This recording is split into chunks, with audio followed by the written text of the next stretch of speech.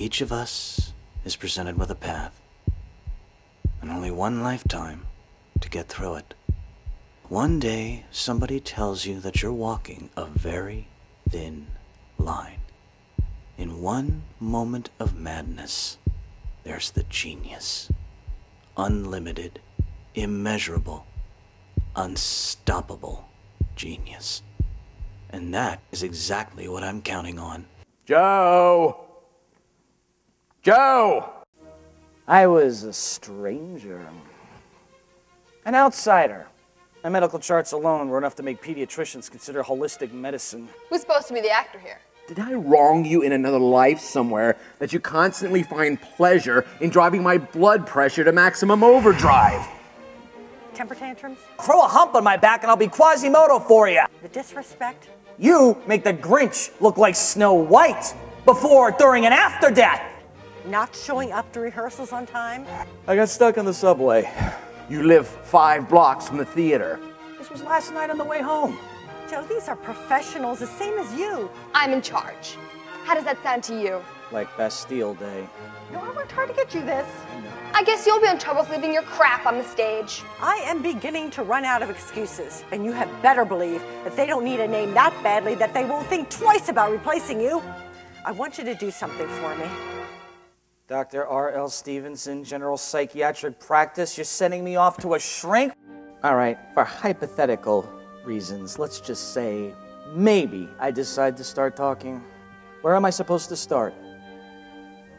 What's the first thing that comes to your mind? Will you sit down and behave, Mr. Tucci?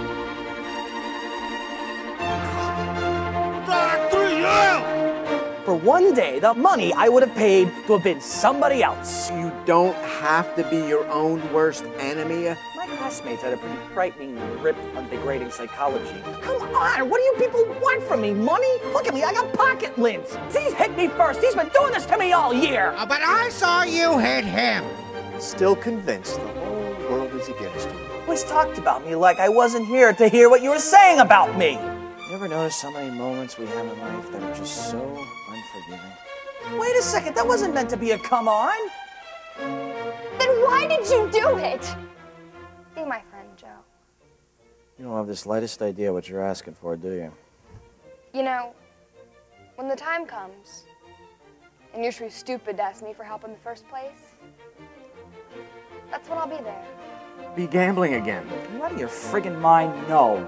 You lost $700 on the poker table and you were still convinced you could win it all back by writing a sitcom pilot. As long as I have known him, I have never seen him like this. How many times have you heard him carry on entire conversations with himself? Just as soon guess he was rehearsing. I listened to him for over an hour, Peg. He wasn't rehearsing. You have to finish this show. Is there something special I need to do to keep you in character for the remainder of the production? And which character would that be at this point? You were sent to me because you continuously choose anger over rational thought. Whatever this slump is, I have gotten over it before. I will get myself through it again. Joe, none of this is like you. There is no real me. Don't you get it? This is it. You're looking at it. Sue me because somewhere along the line you decided that I was not good enough.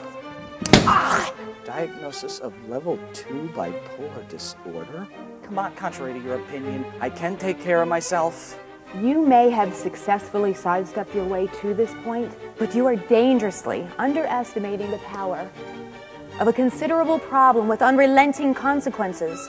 You need help! Don't sit there and say that this is not me when you and I both know that that does not exist. I can't live like this anymore. I think the world's trying to tell me they've had enough of Joey Tucci.